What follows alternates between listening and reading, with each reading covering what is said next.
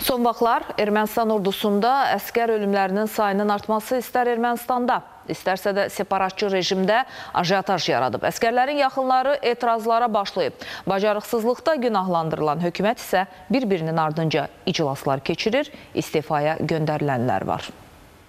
İlin əvvəlindən etibarən Azərbaycanın işğal olunmuş ərazilərində qeyri-döyüş şəraitində 15 erməni hərbi qulluqçusu öldürülüb. Onların arasında intihar halları da geniş yer alır. Erməni mediasının məlumatına görə hərbi qulluqçuların öldürülməsi son günlər ölkədə geniş əks-səda yaradıb. Əskərlərin yaxınları küçə və prospektləri bağlayır, İrəvana yürüşlər təşkil edirlər. Politoloq Əhməd Əlili deyir ki, bu kimi hallar Nikol Paşinyan hakimiyyətə gəldikdən sonra daha da artıb. Ermənistanın daxilində ə, kriminal elementlərin ə, təsir imkanları getdikcə artır.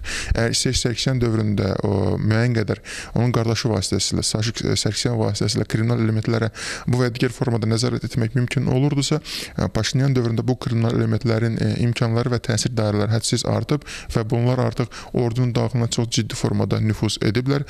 Ordu özü kriminal qaydalarla idarə olunur. Ermənistanın Baş Hərbi İstintaq İdarəsində əskər ölümlərinin sayının artmasına dair keçirilən müşavirə də artıq orduda acınacaqlı durumun yarandığını təsdiq edir. Bundan əvvəl isə baş nazir Nikol Paşinyanın güc strukturları ilə görüşü olub. Hərbi jurnalist Üzeyir Cəfərov deyir ki, Ermənistan ordusunda əvvəlcədən mövcud olmuş biabırçı vəziyyət bu gün də qalmaqdadır. Üstəlik ölən əskərlərin sayı da rəsmi göstərilən rəqəmlərdən çoxdur. Faktiki olaraq itkilərin sayı 30-a yaxındır. Yəni bunlar bilərəkdən bu rəqəmləri həm azaldırlar, həm də gizlədirlər. Orduda həm Ermənistanlılarla Qarabağ erməniləri arasında olan münasibətlərin e, pik həddinə gəlib çatması, eyni zamanda düşmən ordusunda e, maddi təminat e, məsələlərində aşağı səviyyədə olmasına e, bir işarədir. Qeyd edək ki, ötən gün Qarabağdakı separatçı rejimin qondarma müdafiə naziri Karen Abramyan əskər ölümləri ilə bağlı istefa verib. Ölümlər səbəbindən Ermənistanda qeyri-döyüş şəraitində ölən əskərlərin analarının etirazda gözlənilir. Yer gəlmişkən Ermənistan ordusunda qeyri-döyüş şəraitində ölüm hallarının artması ilə əlaqədar bu ölkənin parlamentinin insan haqları və ictimai məsələlər komissiyasında qapalı iclas keçirilib.